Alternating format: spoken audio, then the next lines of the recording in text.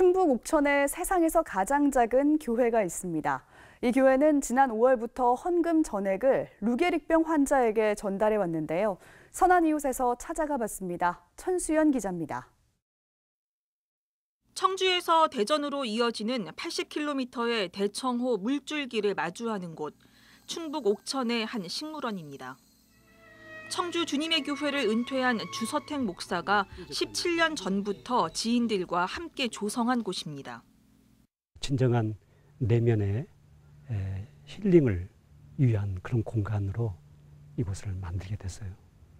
그 호숫가의 단풍은 이 도시의 단풍하고 틀려요.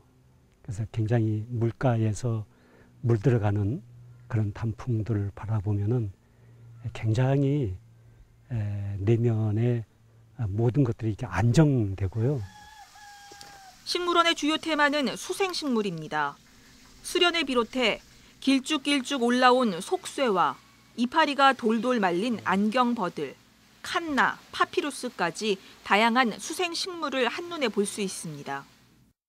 특별히 이 대청호는 이 대전 청주 인근 많은 도시의 사람들이 먹는 식수원이거든요.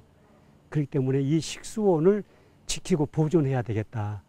이제 그런 중요한 의도가 있어가지고 자연이 주는 쉼을 나누고 물을 깨끗하게 보전하는 교육 공간으로 쓰이는 이 식물원은 최근 이웃을 위한 나눔의 역할도 하고 있습니다.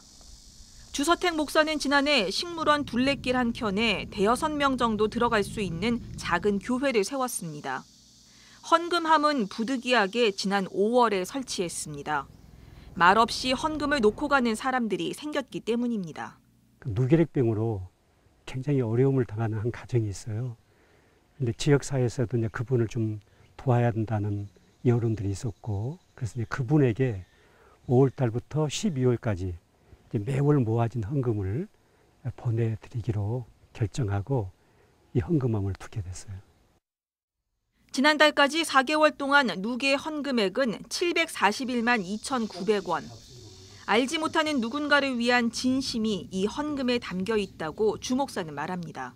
우리 곁에 있는 사람들 다 우리 이웃이에요. 그렇기 때문에 이 옥천군에 이렇게 어려움 투병 중에 있는 이분을 내가 돕고 싶다는 이 마음을 가지고 있다고 하는 것은 정말 진정한 내 이웃을 향하는 주님의 사랑을 표현하는 예, 그런 헌금이라고 생각이 되져요. 주 목사는 내년이 되면 옥천군 내의 또 다른 어려운 이웃에게 이 교회의 헌금을 전할 계획입니다.